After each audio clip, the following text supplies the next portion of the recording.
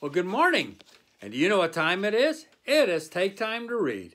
And today, I want to read about worms for breakfast. Uh-oh. Hey, wake up, John, says Grandpa. It's time to go fishing. Oh, I think the fish are still sleeping, Grandpa, says John. No, says Grandpa. The fish are waiting for their breakfast. Come on. Oh, Grandpa won't let John sleep. What do fish like for Grandpa's? asked John. Grandpa said, they like big, fat, juicy worms. Yum, yum. Ew, I'm sure glad I'm not a fish, laughed John. And John and Grandpa got a shovel and they dug a hole and they dug up lots of worms. They put all the worms in a can. And then John and Grandpa got their hats and their fishing poles, and they walked to the lake where the fish live.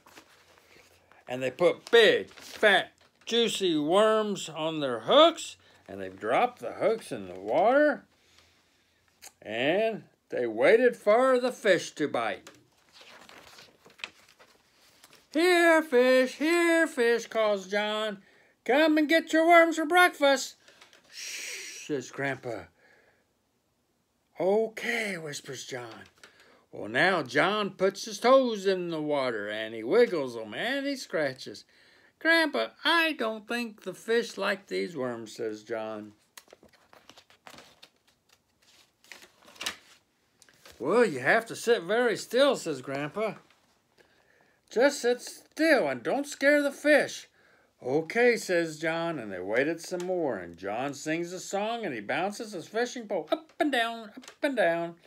John, says Grandpa. I know, says John, I have to sit still. Why fish?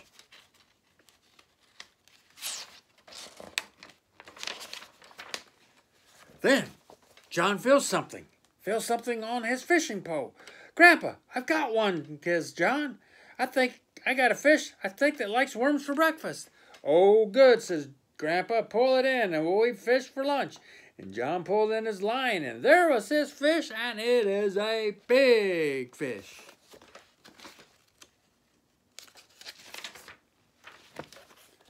Well, Grandpa leans down and gets the fish in the net.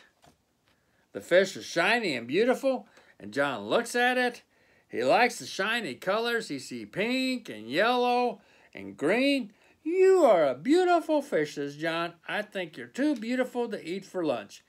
John looks at his grandpa and says, Hey, can we throw him back? So Grandpa helps John put the fish back in the water.